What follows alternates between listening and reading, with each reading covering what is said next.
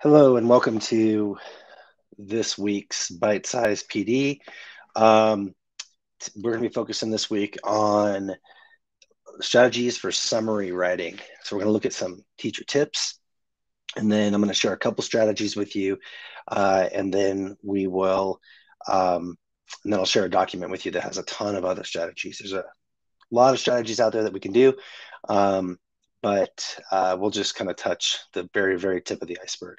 Um, I'd like to start though. Uh, you, you can see the QR code that's over here. Um, if you don't mind going in, you can use that QR code to download a, um, or it'll force you to make a copy of a Google document. And on that document are going to be further resources as well as a spot where you can take notes, um, you know, as we go throughout today. Uh, so anyway, take a second, go ahead and check that out, and then we will um, come back. First, we want to talk about just the professional uh, development norms. Uh, be committed, be responsible, be respectful, be safe. Uh, you want to mute your microphone. Uh, you want to turn your camera on if you're comfortable having it on. Um, and then if you have a question or comment, you can type that into the chat. Everything, as you know, is tied to our MTSS framework. We're looking today at so evidence-based instructional priorities. And I'll go over in a second here sort of the rationale behind uh, summary writing. Um, here it is our learning intention. The learning intention is to understand the importance um, of, my typo, routinely using summarizing strategies with your students. And the success criteria is that when you walk out of this or when you log out of this, that you plan a new strategy that you're excited to use with your students to enhance their skill set. Um, when I started going into this area of looking at uh, summarizing, I was really impressed with uh, research that I saw. And um, this was a quote right here. Uh, it says, after explicitly teaching writing skills, i.e., brainstorming and editing, summarization has the most powerful positive impact on improving student writing. Um, and that led me further to see that uh, routinely summarizing, not necessarily um, the formal kind of summary where we write a full on paragraph, but routine, routinely summarizing, whether it's verbally or with a one sentence summary, like we'll talk about later, those uh, opportunities to interpret and then paraphrase um, and internalize the learning um, are what uh, help our students become better writers and better writers become better readers and so forth, so on and so forth. So our agenda today then is why summaries. Um, we just kind of started with that, and then I have three tips. Um, I'll have four strategies. We'll do a quick.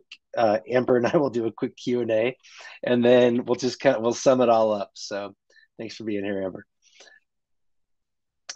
Um, so I saw this Michelangelo. Uh, he when he someone asked him about how he created David, and I only want to show the top part of this picture because um, it can cause some controversy. but but um, he basically took a block of marble and he cut away everything he said that wasn't David.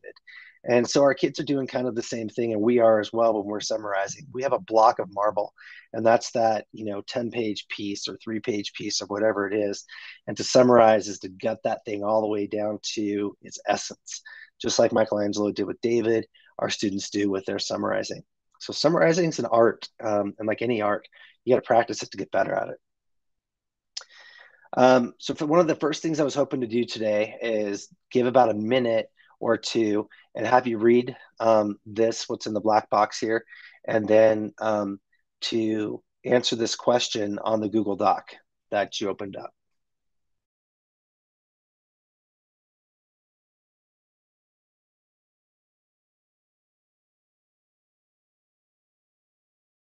We'll keep that phrase in how we can help our students to become skilled information archaeologists. I'm a huge Indiana Jones fan, so that really spoke out to me, an information archaeologist. Um, so first off today, we're going to talk about three tips for teaching summary. Um, and this will either validate or, or provide maybe something new, um, hopefully for you. Um, but the first tip is to put your students in the driver's seat. And I'll go into that in a, in a little more detail but it's it's kind of that co-construction with your with your students about summary writing and giving them chances to be evaluators of it. The second is to provide scaffolds, scaffolds and sentence frames for your students. Um, and we do that quite a bit. um, with our structured academic discussions, but um, and I know a lot of teachers do this very well um, with a lot of the writing. So we can provide that scaffold, those sentence frames until our students are prepared to not need it anymore. Um, practicing with writing, practicing verbally. And then uh, using low stakes writing, uh, basically it's called writing to learn, but really low stakes writing to learn prompts with our students um, throughout the day. In the beginning of the day, um, checks for understanding with our lessons. Um, these kinds of things really uh, will help get our students to get used to summary writing. And so for the first one, we have um, put your students in the driver's seat. And so really, um, this is about articulating and, and building, I think, with your students, what are those uh, attributes of a good summary? What does it take? And almost brainstorming that with your students to create a rubric of sorts or a checklist for what would be a good summary. And on the notes page, I have on the, there's a, um, a table where on the left side I put down some attributes and I had on the right side it's empty for you to go in there and say, hmm, here are some I think should belong there.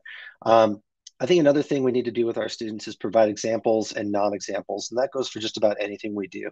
So we want to constantly be providing uh, examples and non-examples, and then we want to try to put them in a position where they take those non-examples and they fix them.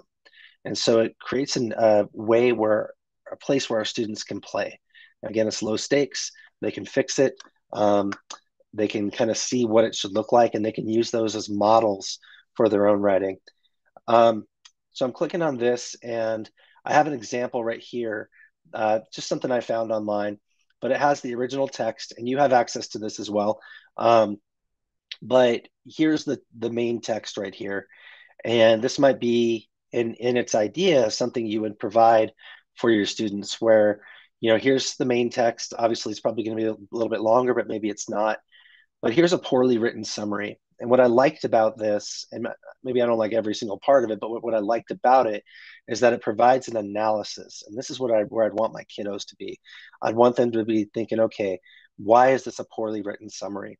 And then I'd want to be prepared to to either brainstorm with them and to provide in case they aren't going on the right track. Um, it doesn't follow the order uh, of the information of the original. Um, the phrase, the phrasing isn't really paraphrasing very well. There's some sentence level problems. That's whatever. Um, it's the length is half the original, so that's not really summarizing. If we're trying to funnel that down into our own uh, David, and then um, they don't give credit to the original source, which I know a lot of us are working on in-text paraphrasing, and so we still want, want to make sure we give credit. So look at this. There's our big piece right there and then this knocks it all the way down to one sentence. And so um, that's it. That's the essence. That's the david of that piece of uh, marble right there.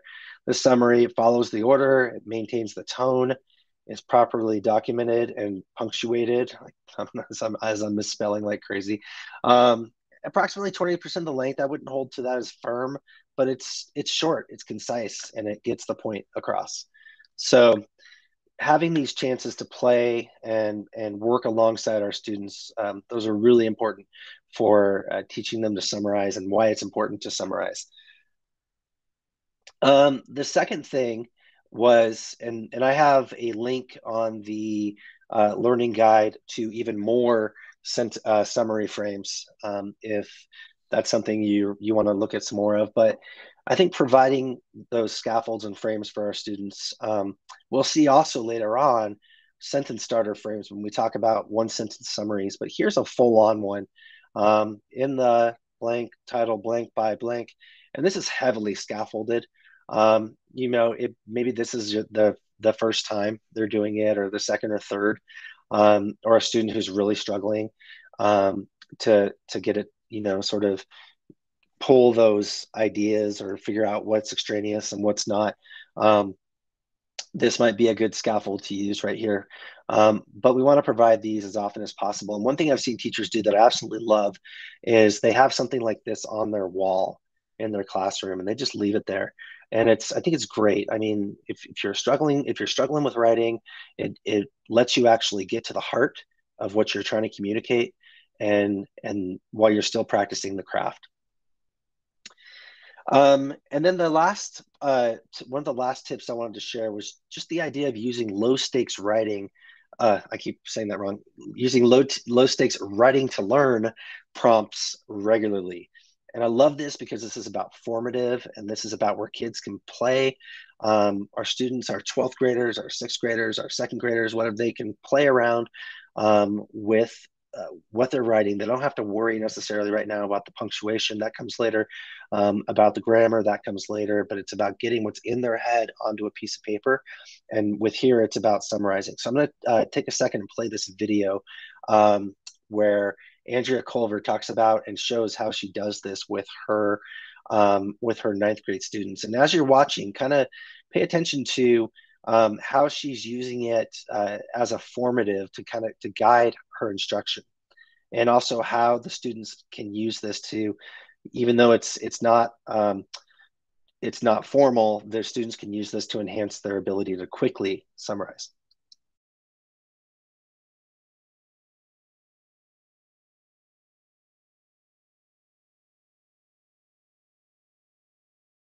So moving off of that now, we have those three tips. Um, basically uh, showing examples and modeling and writing with our students.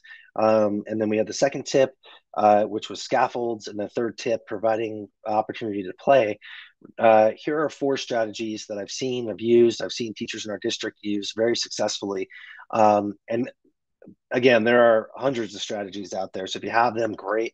Um, you know, share with somebody. But here are four uh, that I've seen recently uh, that really help students with with writing summaries. And so the first one, I I used to call this chunking, and as I researched, I saw that they they now call it paragraph shrinking.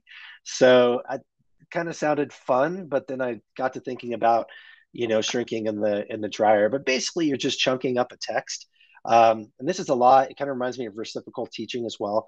But you're chunking up a text you might have uh, let's say i had three or four paragraphs and you you might have your you can do this alone you can do it with two kids but they might one person might read and then the other one has to say in one sentence or less or in time wise 60 seconds or less um, what's the main point of that sentence? And then they switch and then the other one reads and then they do the same thing. Um, so they call it paragraph shrinking because it's reducing that paragraph down to one idea one essence.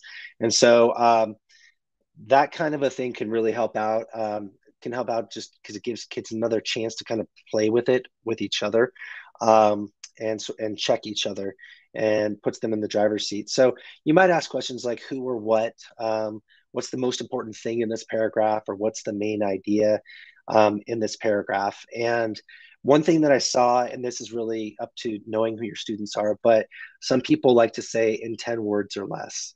Um, and we'll talk about shortening the words a little bit later, but 10 words or less um, really forces a student to think about, um, you know, what exactly they want to put in there. So paragraph shrinking would be one strategy that I'd recommend. Um, and you definitely want to front load this. You want to look at the paragraphs and know exactly what um, what you're going to show them, and you're going to want to make sure that you've you've done it yourself, um, so you can guide them, uh, guide the students. So, first strategy: paragraph shrinking. Uh, second strategy I had is, or that I didn't come up with it, but second strategy that I brought up, this is more for narrative. So if I'm teaching a, a piece of fiction, or or maybe I'm teaching um, going back to like Lady and the Tiger, or the Lottery, or you know maybe I'm teaching Little Red Riding Hood, or the the true story of the Three Little Pigs. Um, this is an easy one for students. Um, and what's cool about this is, is this doesn't have to be English. I could use this in science. I could just flip it a little bit. I could use this in social studies. I could use this in, in a, in a cooking class, but I just change my somebody to whatever the noun's going to be. So somebody who's the main character wanted, what do they want? But what happened? So how does the problem get solved? And then what's the resolution? So I put an example from English and one from social studies. I probably should have put science, but I'll you know, I'll put one of those in the uh, in the learning guide. Um, but Anne Frank, what does she want? She wanted to hide from Nazis, but someone turned her and her family in, so she died in a concentration uh, camp. Then her story was shared with the world. So, you know, that is a very concise, brief summary. Obviously, I'm going to push the kids to read the text because a text that's that rich should be read um, and not just condensed to the summary. But if someone asks me, tell me in one, tell me in one sentence or less what this book's about, because I want to know if I need to read it, I'm able to do that now. Um, King George, and again, you can see how this could be a really easy assessment to do with kids, especially if I'm in social studies and I've just talked talked about er, the events leading up to um, the American Revolution. But King George, what did he want? He wanted the colonists to pay for the French and Indian War. But colonists didn't want to do that. They boycotted British goods, chucked the tea in the water.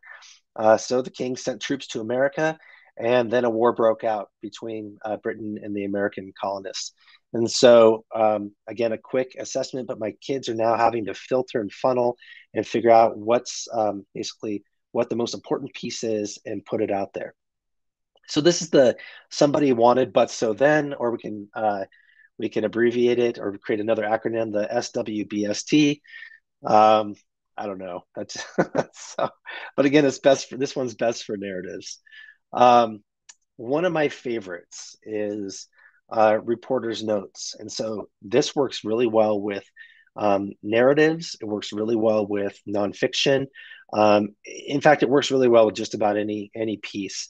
And on the slide right here, um, I found a spot where I know a lot of our a lot of us are using Newsela um, in our classrooms, and so I found a spot where Newsela actually has a lesson plan using this strategy with two or more articles. And so you could take it and find any Newsela article that's appropriate for your students, and you basically take the template of their lesson plan and use it.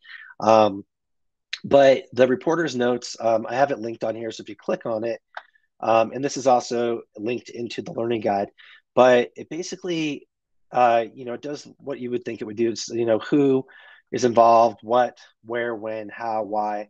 But this is the part I love. So what? so we take this whole event and then what's why do we care what's what's the big idea why is it so important um, the other thing i really love that and this is i think where the summary comes in is the most important who because they could jot down 10 characters, but who's the most important? Or they could read an article about something happening today. Well, who's the key figure in that article? Same thing with the what, um, most important where, most important when. And so then now they really have to, in a way, summarize. They're doing it right in this this sheet. They're going from all the whys to most important why, and they're summarizing that. So now they can take that right column and we can put it down here. I've got my sentence frame up on the wall for them and they can write a summary, but they've gathered the notes using the reporter's notes. And again, you could use this with any article or piece. Um, so it's uh, it's a, just a great strategy um, to have. The last one um, that I wanted to go over, I think, yeah, is the one sentence summary. And I know that sounds super easy, um, but wow, you want to watch the kids squirm. Um, what you do is a one sentence summary with them. So um, I call this the elevator pitch of summarizing. And so there's a, there's a technique that you can use, and I've got it written here on the slide, but it's really about being explicit. So I want to teach them about this. What is a one sentence summary? Um, I want to read content specific text. I would even argue I want to read a text they're already familiar with to start doing this. Um, you know, and then get content specific later on and then I want to do it again with my kids and show them. Um, you know, I think a lot of times kids when they when you say a one sentence summary, so 25 words or less, and they're like, "Yeah, I don't have to write a lot," and then they're like, "Oh my gosh, that means I don't have to write a lot. that don't get to write a lot." So, um, and it really again is forcing that habit. So if I'm doing this all the time and combining this with other uh, techniques, then I'm really creating that habit of being able to to um, chop away at the marble and create that the David that's in there. Um, and I think the students, you know, they need lots of examples and lots of practice. And I would, I would even tie one sentence summaries. I think before I started using it for assessment purposes, I would tie one sentence summaries into my writing to learn. Hey guys, create a, uh, create a one sentence summary for me based on the information I just taught you. Um, okay, well, remember yesterday we talked about this for our warm up today. Give me a one sentence summary on boom, you know, the your takeaway kind of a deal. So it allows me to tell where my kids are, but they're also practicing. Um, again, I've got this, uh, you know, in the learning guide, but one sentence summaries uh, basically fall into, and I believe, did I not go into that already? Uh, one sentence summaries basically fall into um, five areas. You have uh, description, uh, sequence, compare, contrast, cause, effect, and a problem solution. So as I'm doing this with my kids, I'm going to go ahead and have this um, this template, and I'm going to have it up on the wall for them. Again, a scaffold when they need it, it's there. When they don't need it, they can take off the training wheels and ride their bikes away. So basically, description a blank is a kind of blank that blanks, right? So um, sequence something begins with, continues with, and ends with, and it goes on um, so on and so forth. I've also linked in another uh, couple of um, one sentence summary uh, templates in the document. Um, and with the elevator pitch, here's some really good tips, I think, of the one sentence summary. I think having students write, um, and I kind of brought this up earlier, but having students write right after you've done something explicit, um, whether they've watched a video or like the video we did today, just about 10 minutes ago, to be like, what's your one sentence summary of, um, of this lady's description of writing to learn? and now you set the purpose for viewing or the purpose for reading and then they're going to be able to do that um, great great thing to use again at the beginning of a lesson um, or even at the end of a lesson to gather that information for yourself um, i know this is a writing piece but i think being able to talk about something especially with somebody else before you write is really powerful. Um, it's also can be done on a post-it. Students can write and put it on a post-it note. And then again um, i have the four uh, areas or down there summarize describe uh, which is describe uh, sequence compare contrast um, show and then problem solve. So that was a lot.